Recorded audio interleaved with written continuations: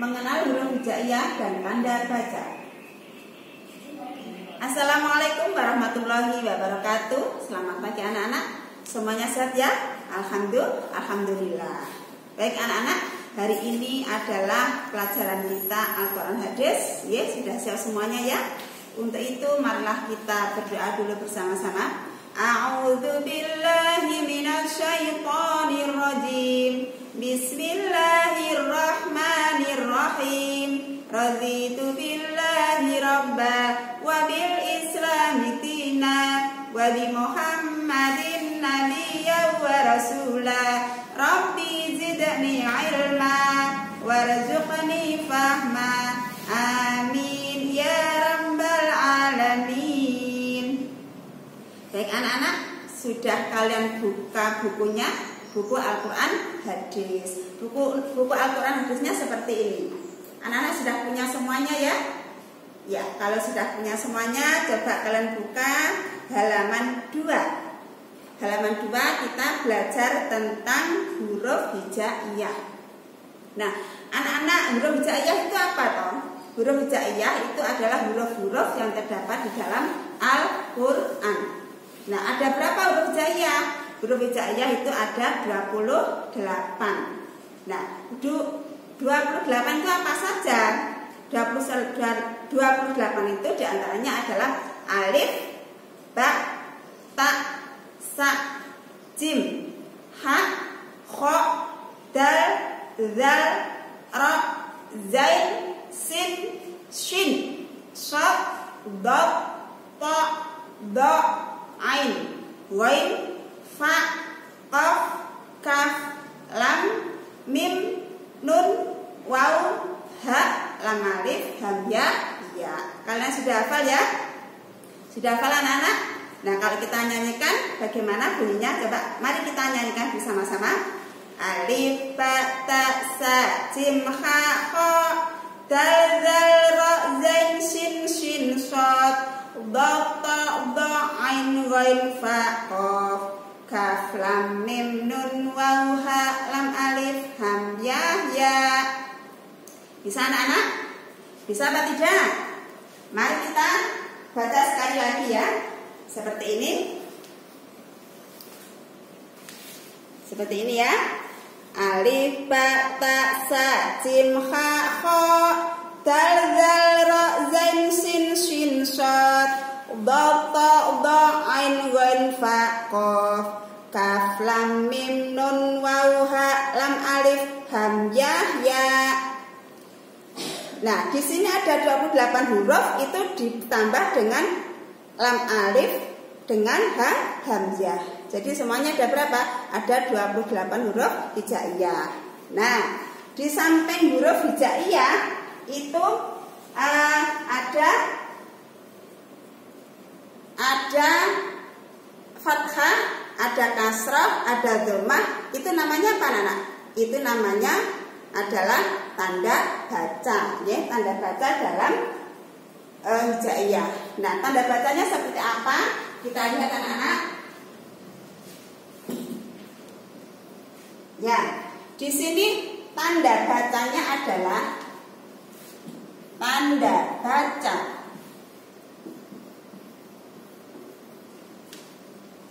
Dalam huruf hijaiyah.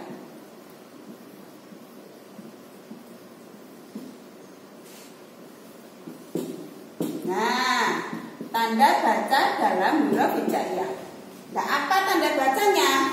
Tanda baca dalam huruf hijaiyah ini disebut juga dengan harokat. Apa anak-anak?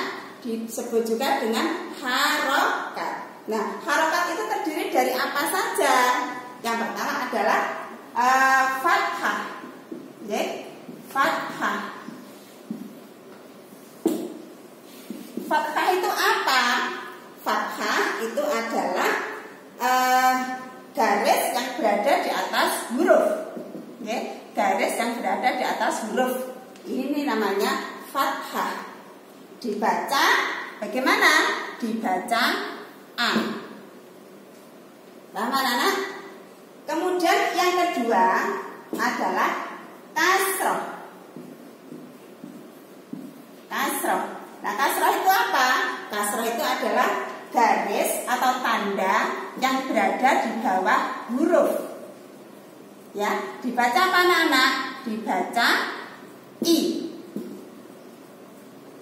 Ya, ada fathah, ada kasroh, kemudian yang ketiga dhammah. Yang ketiga adalah dhammah. Dhammah itu seperti apa? Dhammah itu tanda yang berada di, uh, di atas huruf ya seperti ini ya dibaca U.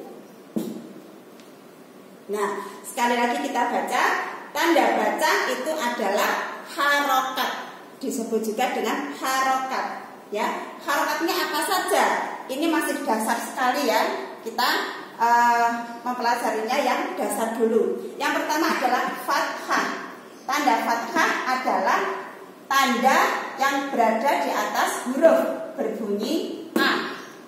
Ya. Kemudian kasroh. Kasroh adalah garis yang berada di bawah huruf dibaca I. Kemudian domah adalah tanda yang dibaca uh, yang berada di atas huruf dibaca. Tandanya seperti ini. Begitu anak-anak ya. Kalau kita aplikasikan ke dalam huruf seperti ini anak-anak. Yang fathah ya, yang fathah dulu. Ini apa anak-anak? Alif. Alif ini diberi garis di atas huruf yaitu dibaca apa? A. Kemudian ini huruf ba. Huruf ba.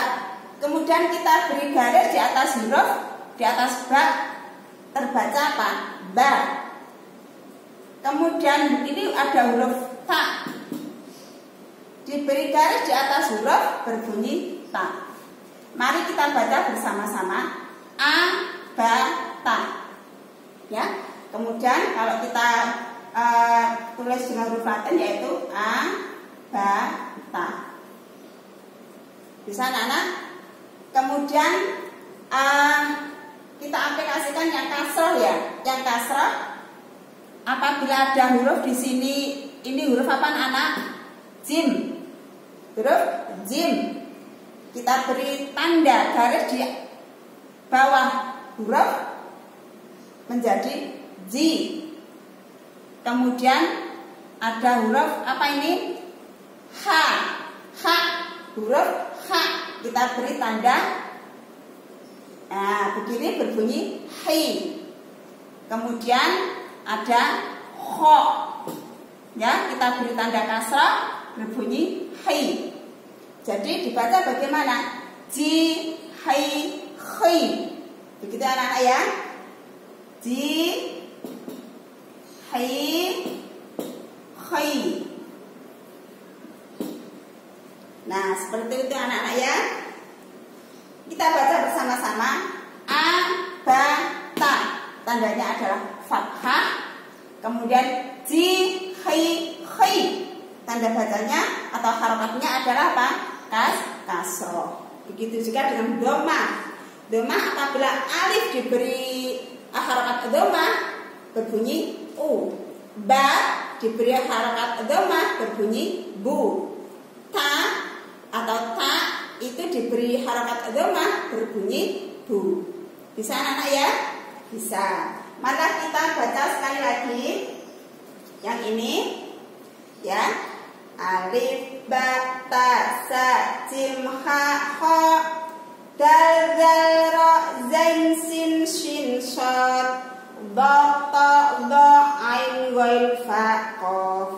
Kaf lam mim nun waw ha lam alif hamzah ya lam alif dan hamzahnya ditaruh di bawah karena ini adalah tambah tambahan ya begitu anak-anak ya Nah sekarang anak-anak um, ada tugas dari Bu ya.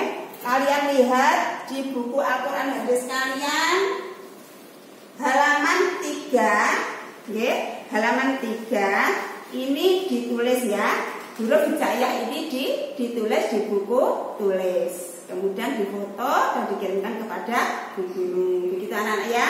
Nah, eh, anak-anak uh, semua Sementara itu dulu perkenalan pelajaran Al-Quran hadis pada pagi hari ini.